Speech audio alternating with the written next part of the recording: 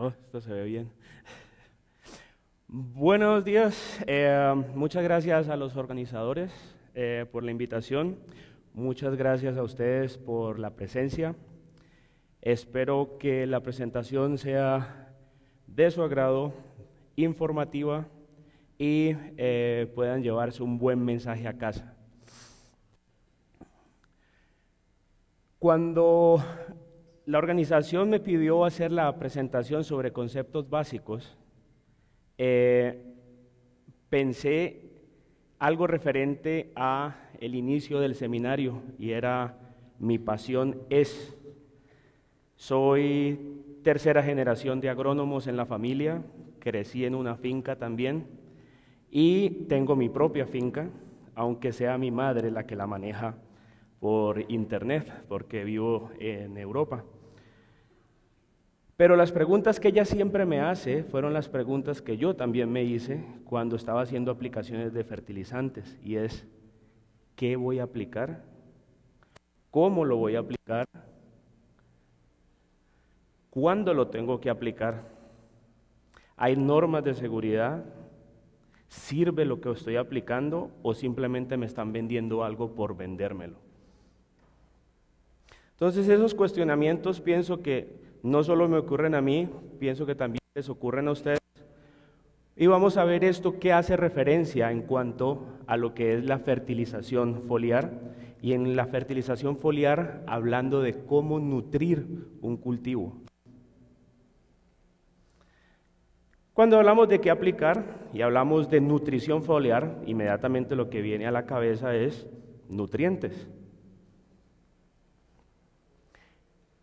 El gran dilema es cuando nos acercamos donde el distribuidor o al almacén que queda cerca a nuestra finca, encontramos casos como este, un distribuidor en Colombia, o como este, un distribuidor en Filipinas, y lo que vemos es una gran gama de colores, una gama de frascos, empaques y productos que nos llevan a una confusión y posiblemente un malentendimiento. El resultado de esto es aplicar por aplicar. ¿Qué nos ofrecen hoy en día a nivel de aplicaciones foliares y cuál es la diferencia en lo que podríamos llamar nutrición foliar? Cuando nos presentan productos, vemos que existen productos de la gama de bioestimulantes, un viejo conocido, Aquí hay algas marinas, ácidos húmicos, ácidos fúlbicos, existen también vitaminas, elicitores, existen una serie de hormonas que lo que hacen es replicar lo que la naturaleza hace con su sistema hormonal en cualquier eh, organismo. Nutrientes y eh, minerales también se ofrecen para, eh, dentro de los productos de aplicación foliar. Algunos de los nutrientes vienen en forma quelatada, estos quelatos pueden ser de forma sintética, otros pueden ser en forma natural. Lo que vemos es que existe una gran gama de productos y cuando hablamos de nutrición, hablamos de nutrir, inmediatamente lo que viene a la cabeza, aunque suene eh, obvio, es nutrientes. En las plantas reconocemos 12 nutrientes esenciales, nitrógeno, y potasio como los macroelementos. Calcio, magnesio y azufre son elementos secundarios y una serie de oligoelementos o elementos menores que van desde el boro, cobre, hierro, manganeso, molibdeno y zinc. Todos ellos cumplen una función esencial en el crecimiento de las plantas. Si alguno de ellos hace falta, la planta no puede cubrir completamente su crecimiento. Algunos de ellos son más importantes en la producción de materia seca y en la producción de un producto terminal. Existen otros nutrientes que aunque no son esenciales, son benéficos. Estamos hablando en este caso del selenio, del silicio, del sodio, que ayudan en ciertos procesos, ya sean de protección para el cultivo o, por ejemplo, en el caso del, sodio, e palatabilidad de un forraje para el, ganado. También existen los bioestimulantes Y aquí cabe la pena mirar la definición que existe de bioestimulantes hoy en día en la comunidad científica y en la comunidad de aplicación de bioestimulantes. Como bioestimulantes entendemos cualquier sustancia o microorganismo aplicado a las plantas para ejercer el incremento en la eficiencia de uso de nutrientes, el incrementar la tolerancia o a un estrés abiótico, puede ser a, la sequía, puede ser eh, al ataque de insectos o de hongos, y mejorar la calidad de un producto cosechado. Es una definición interesante, ¿por qué? Porque son productos que aunque puedan contener nutrientes o no, tienen una función para ayudar en la eficiencia de nutrientes, mas no son nutrientes.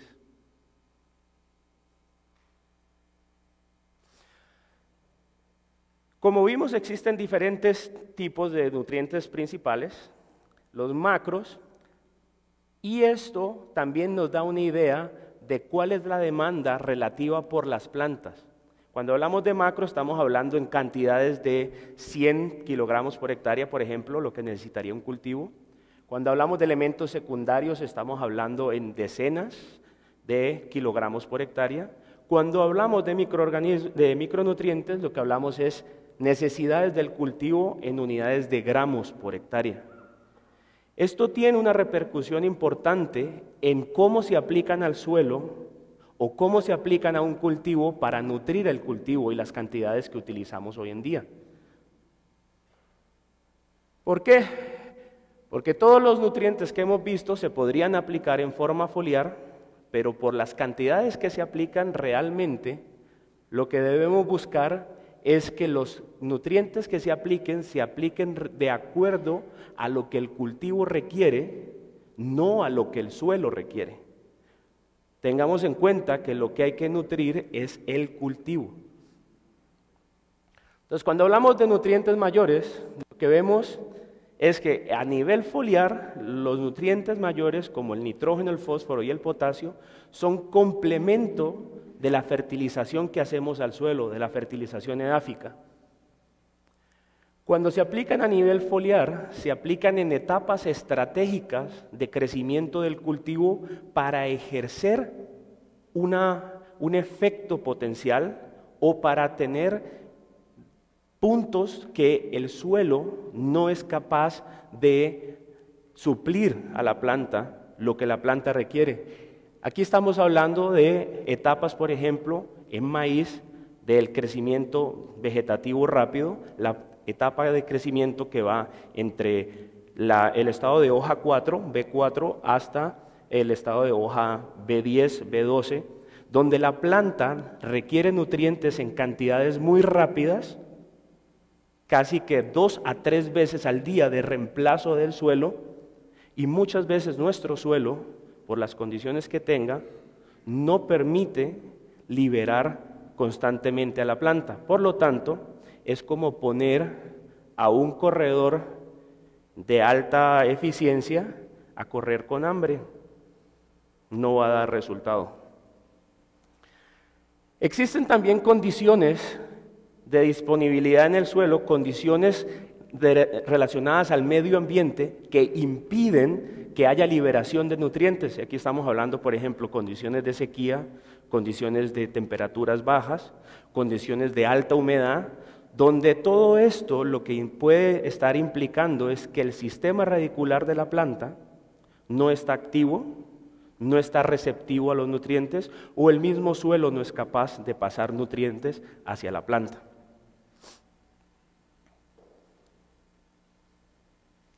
En el caso de nutrientes secundarios, la aplicación foliar se da en combinación con la aplicación edáfica. Y esto se hace principalmente para tratar deficiencias severas. ¿Cómo detectamos deficiencias severas? Puede detectarse visualmente, puede detectarse a, través de servicios analíticos, análisis de suelos, análisis de tejidos. Existe también la forma de aplicarlos para tratar algo que conocemos como hambre oculta. ¿Qué es hambre oculta en un cultivo? Es cuando vemos que nuestro cultivo está creciendo, se ve muy bien, muy parejo, muy bonito, pero en cierta forma existe algún elemento que no está siendo entregado constantemente y cuando notamos la deficiencia ya es demasiado tarde y ya tenemos pérdidas en la producción. Eso es lo que conocemos como hambre oculta. ¿Cómo detectamos eso? A través de analíticas o a través de la pérdida aquí en el bolsillo, porque vemos que lo que tenía de potencial de producción no se alcanza.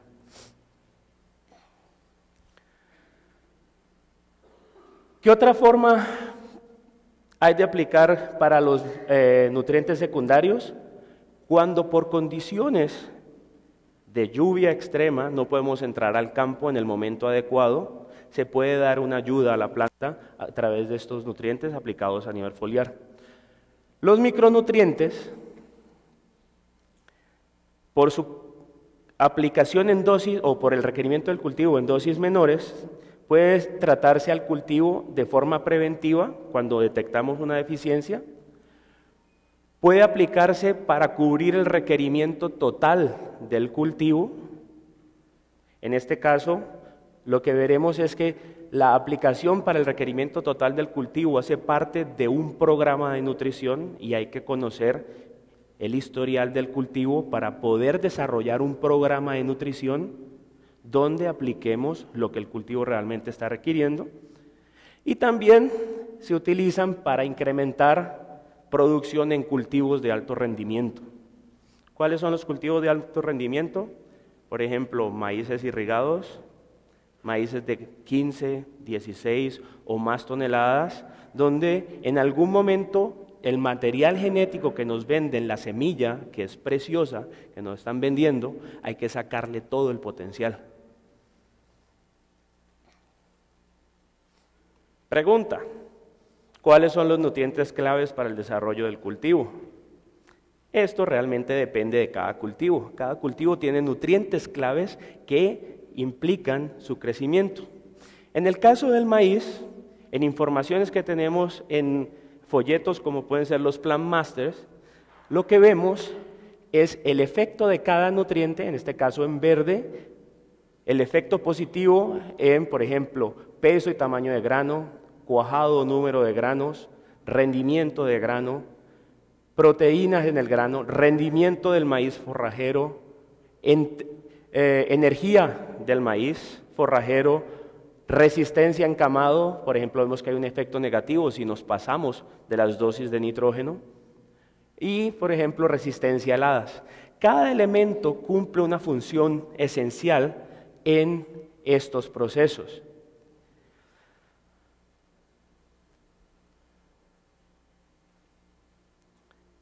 Como diferentes cultivos tienen diferentes necesidades, también requieren un tipo especial de nutrientes que sean claves para ellos.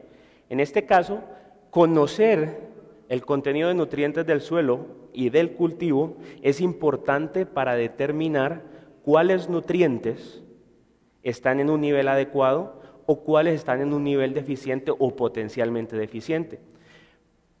Para hortalizas, por lo general, lo que vemos a nivel de micronutrientes es que el boro, el manganeso y el zinc juegan un papel muy importante en alcanzar productividades altas.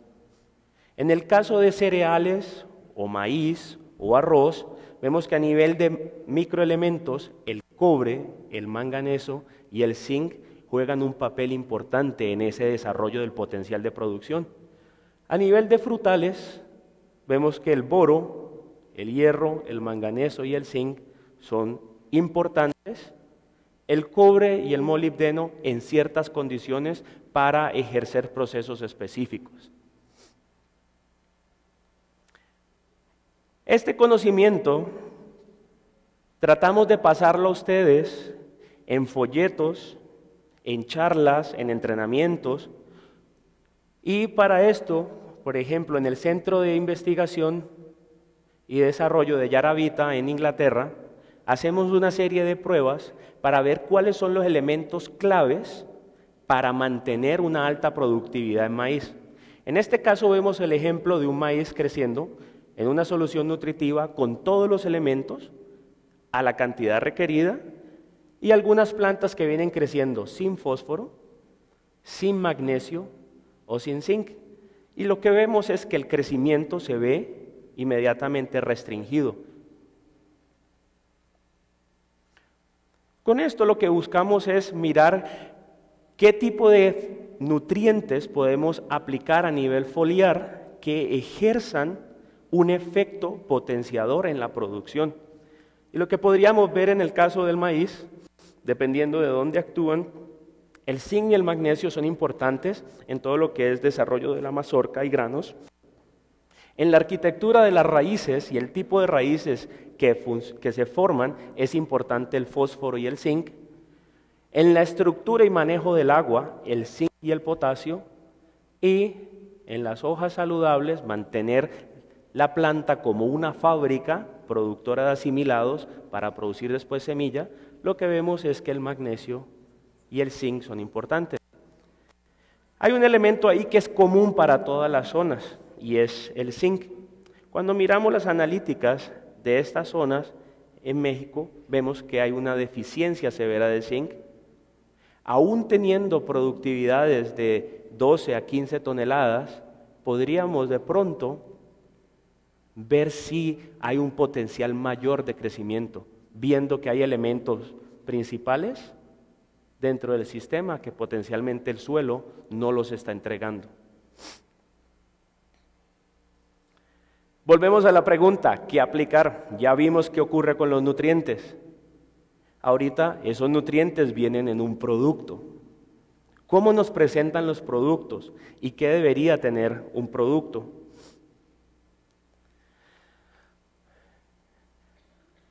En este caso, los productos podemos tener soluciones que son simplemente sales disueltas en agua y aplicación, esto lo podría preparar uno en su finca corriendo el riesgo de, y esto es riesgo seguro, de quemazón.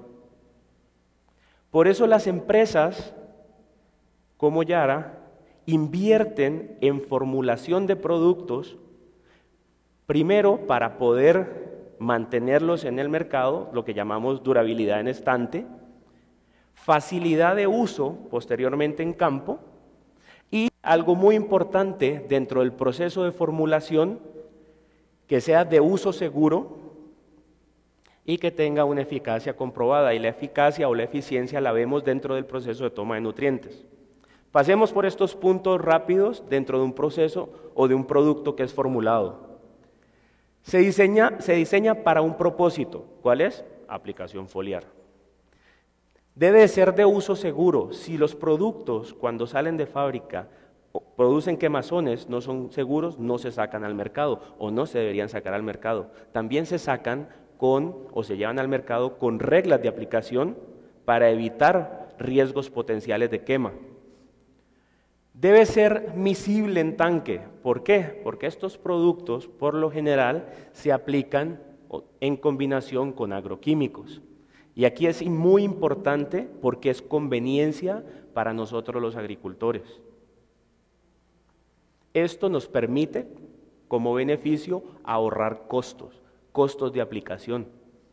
Costos de aplicación siempre son un hueco en el bolsillo. Facilidad de uso significa poderlo transportar fácilmente, poderlo verter fácilmente, poder trabajar con él de manera de manera adecuada, debe tener un valor eh, nutritivo, ya sea un valor rápido para curar una deficiencia o de liberación constante para incluirlo dentro de un programa de cultivo pensando en maximizar el potencial de producción. Resistente al lavado, ¿por qué? Porque lo aplicamos y esperamos que se quede en la hoja y que siga siendo su función.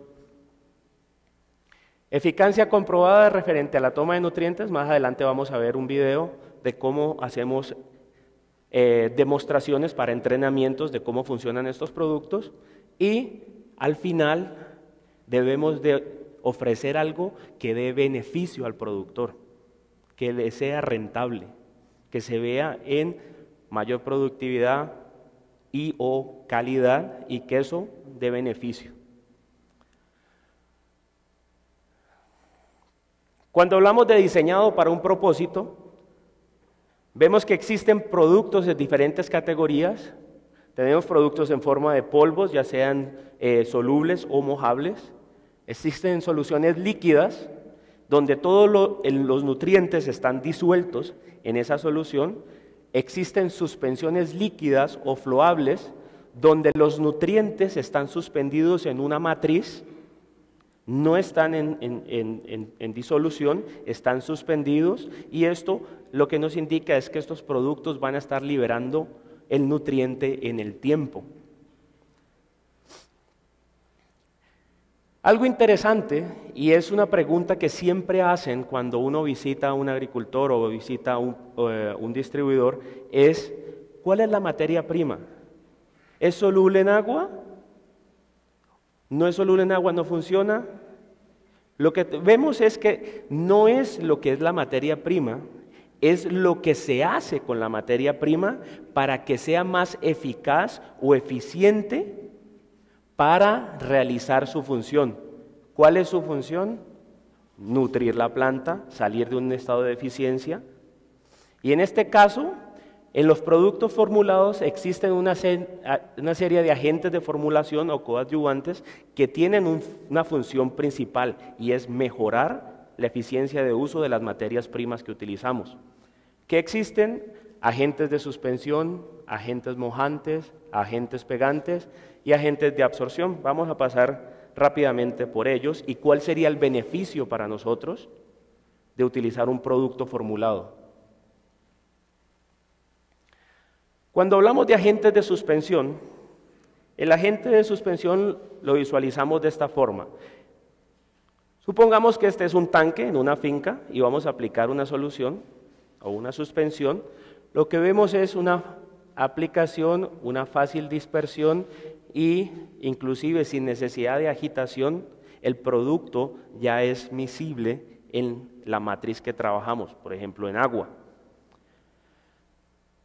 Estos productos o agentes de suspensión también nos permiten tener un beneficio. Por ejemplo, ¿qué beneficio para el distribuidor existe? Larga vida en anaquel. Que el producto, si no se vendió esta temporada, lo pueda vender la siguiente temporada y siga estando en buenas condiciones de aplicación. Facilidad de aplicación para evitar tener que hacer inversión en aparatos para mezclar dentro de las tolvas de aplicación o dentro de las tolvas de, aspersión del, fertilizante. Lo otro es evitar el taponamiento de boquillas. Esto es una belleza. ¿Por qué? Porque son productos químicos, tienen sus restricciones, tienen su manejo de seguridad. Y un taponamiento de boquillas lo que me puede ocasionar es franjas de mis, lotes que no están siendo bien aplicadas, donde estoy perdiendo nutrición, o tener que vaciar productos en zonas y causar un daño ambiental. Entonces hay una serie de beneficios que vienen de tener un agente de suspensión en un producto foliar. Los agentes mojantes, en este caso, veríamos aquí lo que sería aplicar un producto sin un agente mojante. Tendríamos un producto que está en forma de gota. Al estar en forma de gota y hay rayos solares llegando aquí, tenemos que hay un riesgo de quema por un efecto lupa. También si existe viento, esto es más propenso a perderse. Y los sitios de absorción de este nutriente van a ser muy pocos. Posiblemente haya una concentración tan alta que vamos a quemar el cultivo. En el momento de aplicar un agente mojante, lo que vemos es que cambiamos la estructura del líquido, permitiendo que se disperse mejor en las hojas. Al dispersarse mejor en las hojas, cumple su función que es penetrar dentro de la hoja, servir como nutriente y también disminuye los riesgos de quema.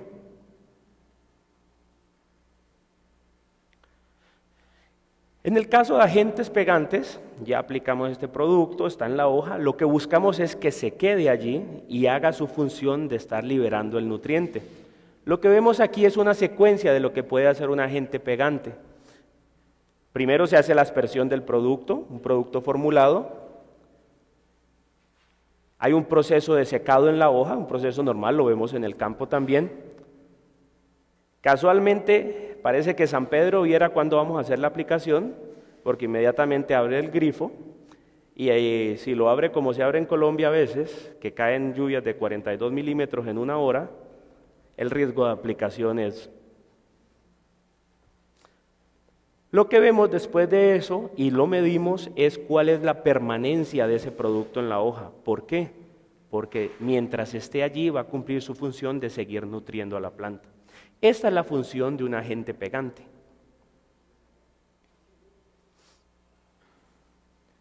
¿Cuál sería el comportamiento de un producto que no está formulado cuando lo miramos a nivel de absorción y de liberación de nutrientes en el tiempo? En este caso vemos el nivel de nutriente en la planta, niveles altos, niveles adecuados o niveles muy bajos y cómo sería su función en el tiempo.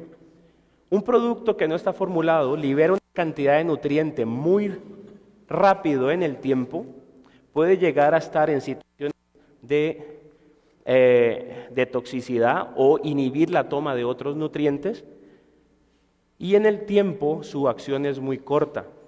Entonces, qué ocurre con este tipo de productos y qué nos recomiendan con este tipo de productos. En la etiqueta dice muy bonito, este producto funciona mejor si lo aplica tres a cuatro veces. Tres a cuatro veces significa entrar tres a cuatro veces al campo. Cada entrada al campo es costo de combustible, es tiempo de nosotros para hacer otra cosa. Empezamos a ver cuáles serían los beneficios de tener un producto que puede nutrir la planta en el tiempo. Y en este caso, esto es lo que veríamos con un producto formulado. Existe una liberación por las condiciones de fabricación y de, eh, de recomendación de estos productos, vemos que esto va a un nivel adecuado y se mantiene en el tiempo. Por lo tanto, estos productos por lo general se aplican una vez, máximo dos veces, en el proceso de nutrición. Beneficios de esto, nutrir el cultivo, ir menos al campo, gastar menos tiempo, gastar menos dinero. Volvemos a nuestras preguntas. ¿Cuándo aplicarlo? En este caso, ¿cuándo aplicarlo? Hace referencia a la ocasión y a la etapa del cultivo. ¿Por qué? Porque cada etapa del cultivo tiene un requerimiento específico, un requerimiento especial para que el nutriente haga su función. Cuando hablamos de ocasión, medimos primero cuáles son las interferencias que puede estar causando el suelo con los productos que aplicamos al suelo y que no se liberan, y en este caso el pH del suelo juega un papel muy importante en su liberación y la presencia de otros nutrientes también. Existen nutrientes que son sinérgicos, pero existen también nutrientes que son antagónicos. En este caso vemos que los rangos de pH pueden afectar, por ejemplo, en suelos alcalinos, que se libere zinc, en el caso de nosotros zinc aquí es deficiente. El impedir la liberación lo que está haciendo es impedir que haya liberación de ese nutriente y ejercer el potencial de producción. Momento de aplicación, la ocasión, cerca al periodo vegetativo rápido o de crecimiento rápido del maíz.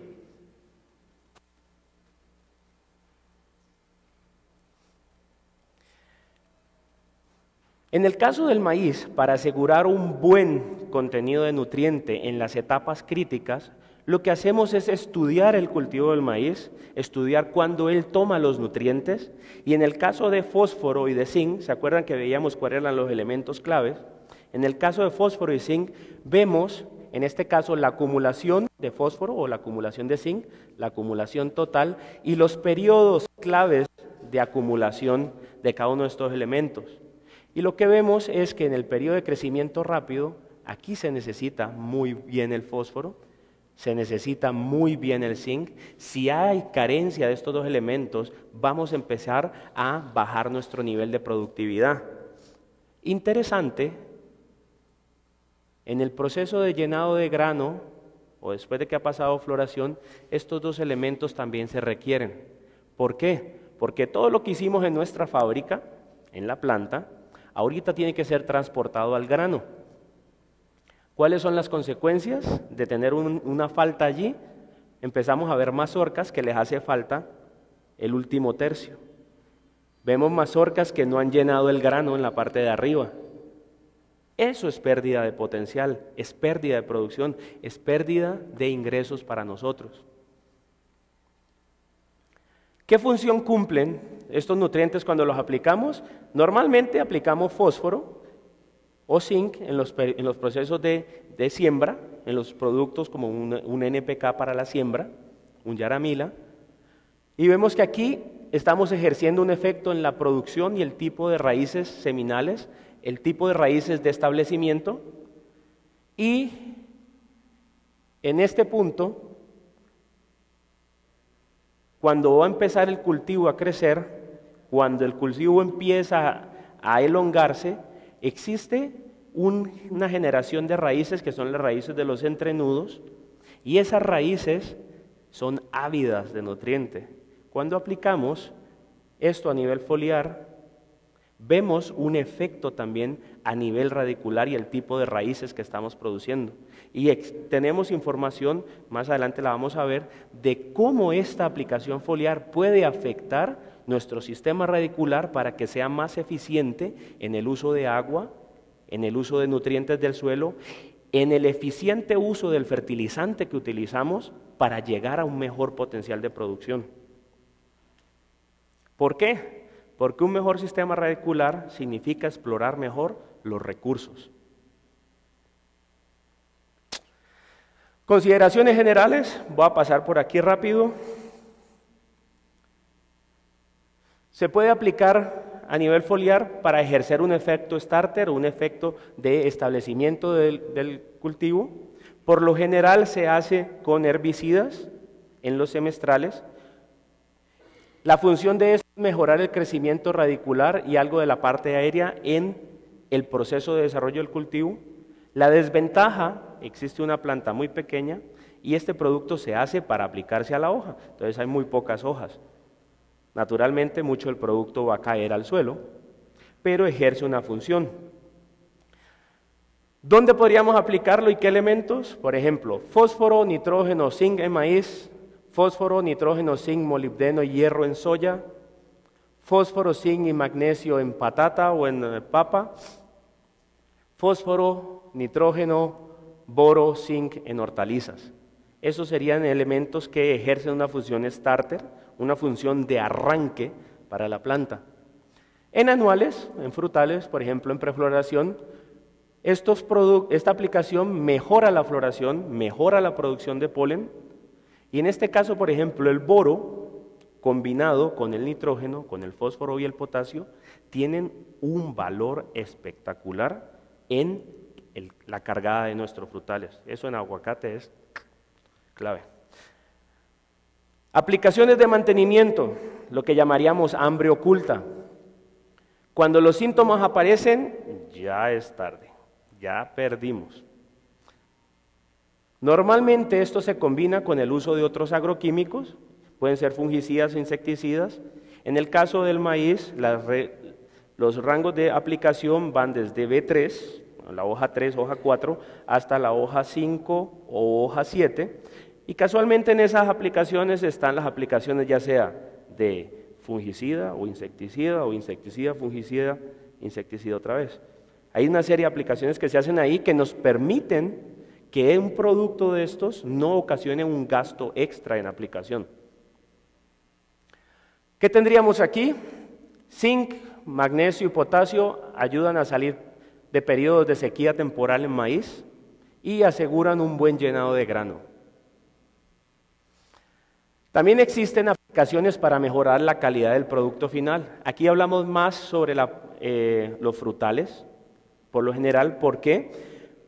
Porque en los frutales la vida o calidad de la fruta en anaquel es muy importante para mantener un producto que sea eh, agradable al consumidor. En maíz también tiene una función en el periodo de llenado de grano o mejorar el llenado de grano. Aplicación con agroquímicos. En la aplicación con agroquímicos, porque es un producto que se combina con ellos para evitar extra costos, hay que tener en cuenta cuál es su misibilidad en tanque. ¿Para qué? Para evitar taponamientos de boquillas, evitar eh, precipitaciones.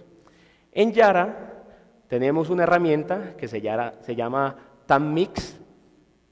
Esta herramienta que está a nivel de Internet o también está a nivel de eh, telefonía móvil, de dispositivos móviles, lo que nos permite es ver cuál es la compatibilidad física de los productos de Yara, de Yara Vita, con agroquímicos, ya sean herbicidas, fungicidas o insecticidas.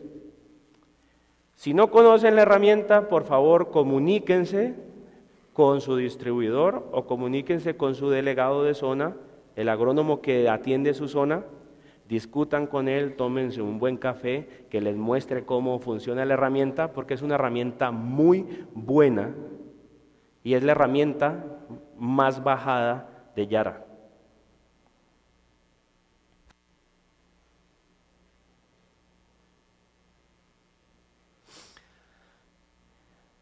Conocer la visibilidad en tanque permite una fácil integración de un programa de protección, reducir los riesgos de taponamiento de boquillas. Esta es una forma de cómo llega el reporte. Si el reporte no está en la aplicación, si no existe reporte, se puede pedir, hay una forma de hacerlo en la aplicación, y el reporte te está llegando en un periodo corto de tiempo. Por favor, comuníquense con su distribuidor, con su delegado de zona de Yara.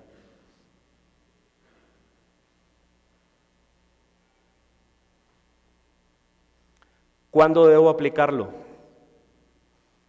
Dosis de aplicación y la etiqueta.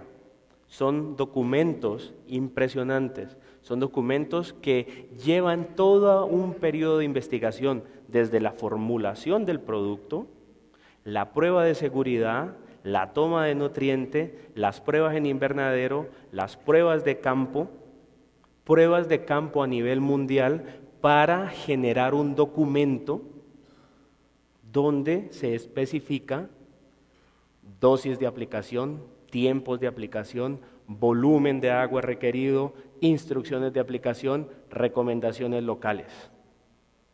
Les voy a dar un secreto. Si uno quiere esconder algo de un producto, lo pone en la etiqueta, porque nadie la lee. Lean la etiqueta, léanla, está allí. ¿Por qué? Porque ahí está la composición del producto, en qué etapa hay que aplicarla, cómo es la dosis y lo que nos mostraron hace un rato, la parte de seguridad. Es muy importante mantener reglas de seguridad. Esta la pregunta, ¿esto sí funciona? Me venden esto, tengo todo, está en la etiqueta, todo muy bonito. ¿Funcionará? ¿No funcionará? Para esto existen pruebas de campo, pruebas de laboratorio, y el primer paso en todo este proceso es conocimiento y compromiso, y es convencernos a nosotros mismos de lo que estamos formulando funciona y va a llevar un beneficio al agricultor. Para esto hacemos pruebas de seguridad en los invernaderos. Aquí tiene una foto del invernadero que tenemos en el Centro de Investigación, Desarrollo y Entrenamiento de Pocklington, en Inglaterra. Se hace pruebas de toma de nutrientes, pruebas de eficacia en invernadero, pruebas de eficiencia en campo, para integrar esto, la fertilización foliar, la nutrición foliar, dentro de un programa de nutrición de cultivo. ¿Cómo utilizar bien nuestros fertilizantes edáficos con fertilizantes foliares para tener un buen, una buena producción. En las pruebas de eficacia, por ejemplo en invernadero, voy a darles un ejemplo de cómo hacemos demostraciones prácticas de cómo funciona un producto. En este caso, el efecto del boro en un producto que se llama Yaravita Bortrack en el desarrollo del girasol.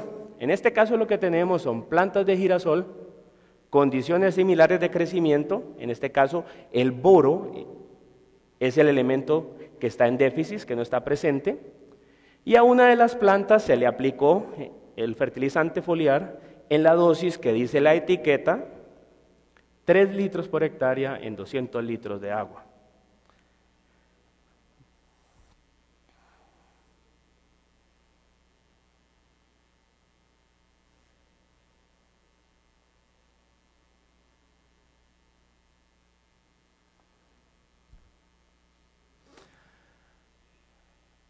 Como podemos ver, las plantas estaban creciendo muy similar, vienen un crecimiento parecido, y empezamos a ver que hay una planta que empieza a destacarse más que la otra. ¿No es cierto? Lo estamos viendo.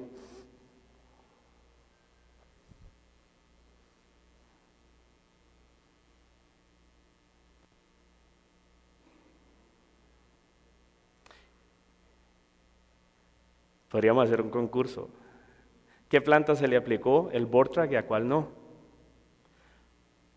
En la naturaleza, las plantas, como no se pueden mover, nosotros sí podemos escapar de un estrés, para eso nos dieron las piernitas, para salir corriendo, pero las plantas no, las plantas adoptan un mecanismo para poder salir de un estrés.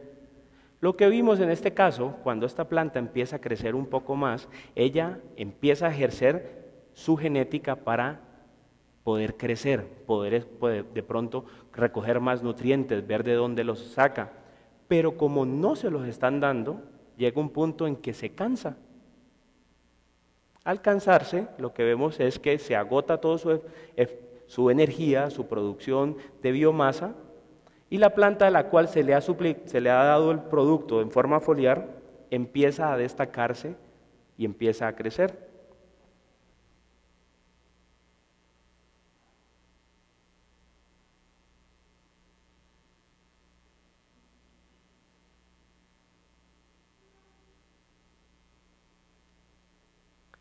El boro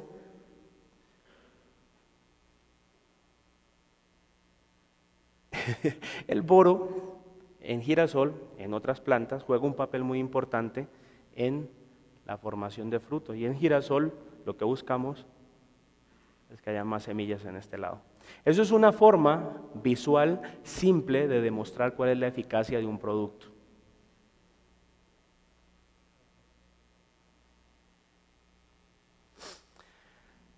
No solo en invernadero, también lo hacemos en campo.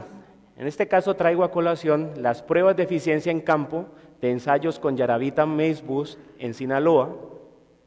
Y lo que vemos es ocho ensayos en campos de agricultores donde vemos el incremento en producción y el promedio de producción de ellos y cuál era el efecto que hacían en la producción. Y lo que vemos es un incremento alrededor del 8 o 9% con un retorno de inversión de 1 a 4. O sea, por cada peso que invierto, obtengo 4. Es algo bien interesante. Como esta serie de ensayos, se tienen ensayos en todo el mundo, con este producto o con otros productos de Yaravita, para nosotros mismos tener confianza de qué es lo que estamos ofreciendo al agricultor. Dentro de mi función actual, en la rama de Yaravita se, se ha desarrollado un nuevo producto y es un producto diseñado para recubrir fertilizantes granulares con micronutrientes. Y lo que estamos viendo es cómo integrarlo en el proceso de mejorar lo que estamos aplicando al suelo para tener, desarrollar un potencial de producción, tener ese potencial y luego a través de la aplicación foliar en un momento adecuado alcanzarlo. Les traigo uno de los experimentos, los voy a llevar un momentico a Colombia, así. Vamos a Colombia, estamos en los llanos orientales de Colombia, bajo contenido de zinc, unos suelos eh, con pHs ácidos para esa zona. La fertilización tradicional indicaba una aplicación de un NPK en una mezcla física. Se mezclaba con, con zinc en una mezcla física y se hace la aplicación.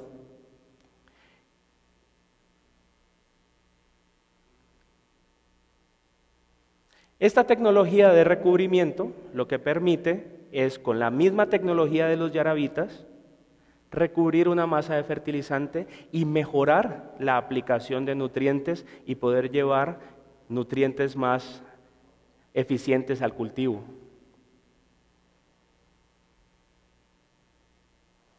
Se quedó corto. Ya. En este caso lo comparamos contra la aplicación tradicional, que era el NPK a la, siembra, contra la aplicación de un nitrogenado que viene recubierto con zinc y ese mismo nitrogenado más la aplicación foliar en unas condiciones de deficiencia extrema de zinc. Mirábamos que el zinc tiene un efecto importante en el desarrollo de raíces del maíz. También juega un papel importante, en este caso el zinc y el fósforo, en este caso de, de lo que se aplica foliarmente, en el desarrollo de la mazorca. Perdón, pasó muy rápido.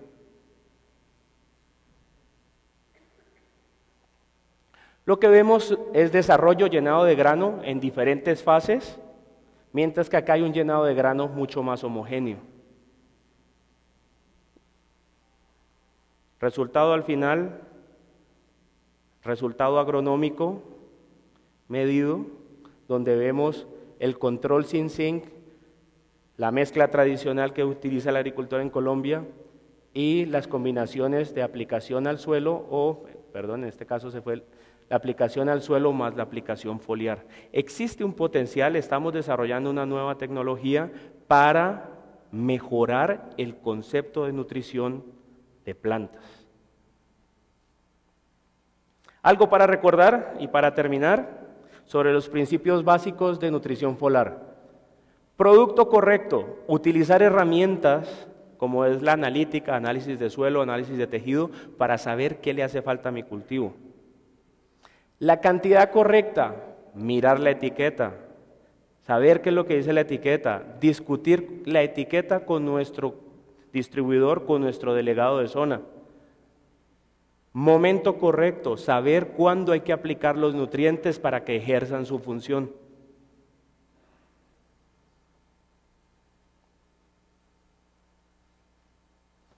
Muchas gracias.